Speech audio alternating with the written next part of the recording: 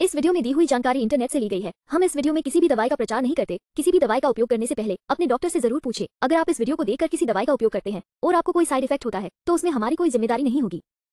Aerial सात days mask, यानी कि प्रत्येक तेईस ग्राम नींबू कोलेजन के निर्माण में सहायता करता है और त्वचा की रंगत को निखारने में मदद करता है।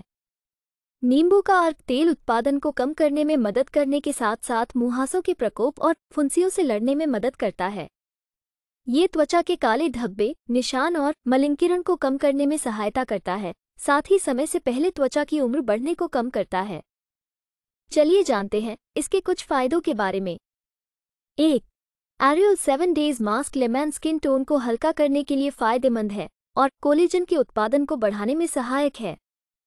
दो इसमें नींबू के अर्क होते हैं, जो मुहासों के टूटने और फुंसियों से लड़ने में सहायता करते हैं और तेल उत्पादन को नियंत्रित करने में मदद करते हैं। तीन, ये त्वचा के काले धब्बे, निशान और मलिंकिरण को कम करने में मदद करता है और त्वचा की कोशिकाओं की समय से पहले उम्र बढ़ने को कम करने में सहायता करता है।